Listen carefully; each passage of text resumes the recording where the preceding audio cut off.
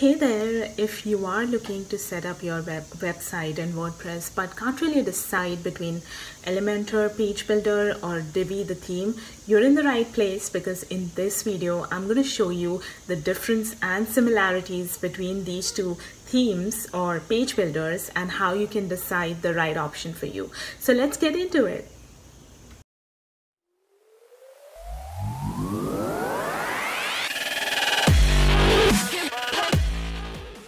Hello, hello. In this video, we are going to be looking at uh, the difference between the Divi builder and Elementor. So Divi is basically a theme, Elementor is a plugin, so it's a page builder. That's kind of the basic difference. Also, uh, the one important thing to note is that Divi is a paid theme, so you don't get you know free version of Divi. But Elementor, since it's a page builder, it off they offer a free plan, and the website I'm going to show you today that's built with Elementor, it's actually built on the free Elementor plan. So everything that I've created using Elementor on that website is on the free plan and this website which is an older website uh, is built on divi so as you can see this is the home page this is built on divi and this website which is a newer website is built with elementor. So let's go ahead and look at the differences.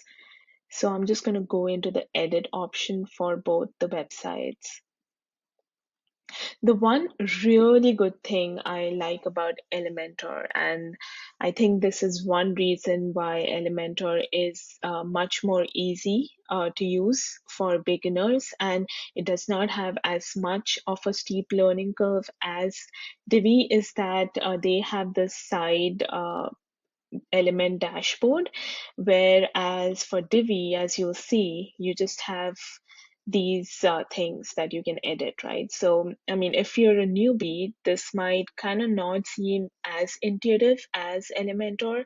So, that is one big thing I really like about Elementor. Uh, the second thing is uh, again, in terms of the elements itself, the pro version of Elementor has many more uh, element types that Divi does not have, such as animated headlines. There is a Facebook comments, uh, Facebook button, Facebook em- embed, Facebook comments, so all Facebook related uh, elements, and then the share social share button. So all of these are not included in in Divi, although Divi has uh, a paid plan right from the get go, right? So Divi is uh, it's I think around fifty nine dollars a a year right now.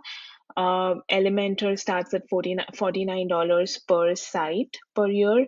Divi actually could be even more expensive. Let's look at Divi pricing.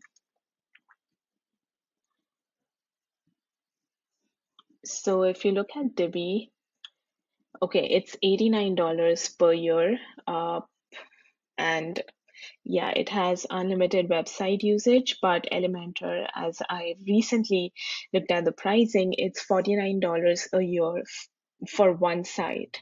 So, I mean, if you are just creating a site for yourself and want to DIY it, Elementor is a great option. Also, if you do go for the pro version for Elementor, you can actually customize your header and footer with Elementor, which is a big thing, uh, so that you know you don't need to use WordPress uh, menus and plugins uh, widgets to do this. You can actually do it within Elementor itself. So that's another thing in terms of creating the sections. I think it is pretty, uh, you know, like both are pretty intuitive. I've used both, like I mentioned, and I found that both are kind of intuitive. So this is like a drag and drop uh, option where I can, you know, drag elements and drop them here. And this is just a little slow. So like you can see, I just added a heading text. Uh, you can uh, bold it, you can make it center, you have the style option and the advanced option. So you may, you can customize this a lot. Uh, and margins, padding, all of those things. For Divi, it's uh, almost the same thing. So if you've used uh, something like ClickFunnels or Leadpages before, Divi is kind of similar to those. Although, again, ClickFunnels does have um, side dashboard, but for Divi, you just click on this, uh, choose the kind of section you want, and then choose how many columns you want. And then you can add different elements from here, which are called modules. So in terms of building out the pages, it is very similar, but I would also say that, you know, if you're just starting out, uh, if you have no experience with either, I would highly suggest to go with Elementor because, like I said, they have a free plan, so you can get kind of like a taste of how it works. And also, the uh, the free plan is good enough. Like this website is built on the free plan. And the other thing is uh, they have the side dashboard, so it kind of becomes really easy to see uh, what sections they have and what you can drag and drop. So um, that's it. If you are interested in building out your website and looking for a DIY option, check out my website in a week mini course training. You can find the link below, and I hope to see you in there. So if you're looking to build your website in a week, go ahead and check out the course. Thank you, and I will see you in the next video.